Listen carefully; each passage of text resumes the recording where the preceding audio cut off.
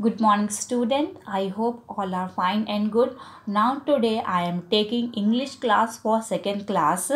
First to take a term once. All of you take your term books. Open the term and page number 3. Page number 3. So student look at this poem. Poem name is Cradle Song. Poem name is Cradle Song.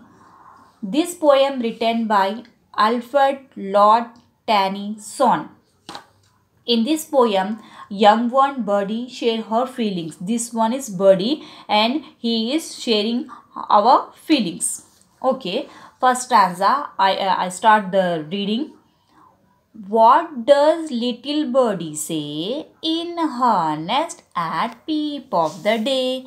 Let me fly, says little birdie. Mother, let me fly away.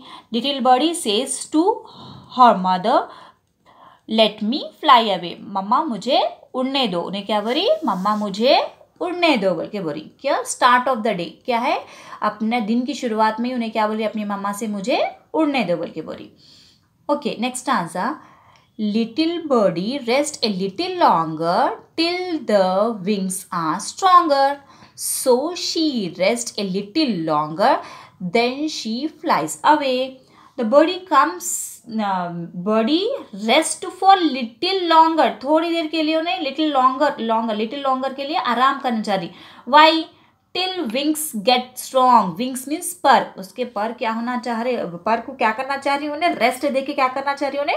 Strong करना चाह रही। And then she fly away. और उसके बाद then after she will fly fly. उन्हें उड़ना चाह रही। Okay. Third standard. What does little birdie say in her bed at peep of the day Birdie says, like little birdie, let me rise and fly away. The birdie comes home. The birdie comes home at the night and says, like other birds, let me rise and fly away. She is taking rest of taking rest taking rest क्यों rest लेना चाह रही उस उन्हें उसको आराम करना चाह रही और नेक्स्ट डे उसको फ्लाई करने का है okay no next third fourth stanza baby sleep a little longer till the little limbs are stronger. If she sleep a little longer, baby too shall fly away. The bird, the birdie rests in the nest for little longer till her arms and legs become strong. उन्हें रात में उड़ लेके आके फिर क्या करना चाह रही फिर अपने नेस्ट में आराम करना चाह रही वाई वाई इसलिए कि उन्हें अपने जो लिम्स से limbs means what is the meaning of limbs limbs means arms and legs arms and legs arms means hands and legs means arm means हाथ अपने लेग्स मीन्स पैर। उन्हें अपने हाथ पैर को क्या करना चाह रही? रेस्ट करना चाह रही।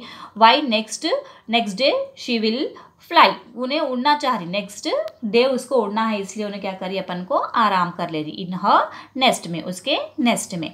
Okay student in this poem some new word is there peep of the day rest and limbs this new words this new words meanings is there. New words meanings is there. Peep of the day, start of the day. दिन की शुरुआत दिन शुरू जो starting दिन रहता ना अपन को मॉर्निंग टाइम जो स्टार्ट होता अपना दिन का उसका मतलब क्या है peep of the day peep of the day बोले तो दिन की शुरुआत rest rest means wait rest means wait करना है limbs arms and legs. Arms means arms means hands and legs means pair the, these three words write in class work two time and as well as write in homework two time. I hope all are understand this poem. So student do your homework neatly and clean. Neat neat and clean. Okay student thank you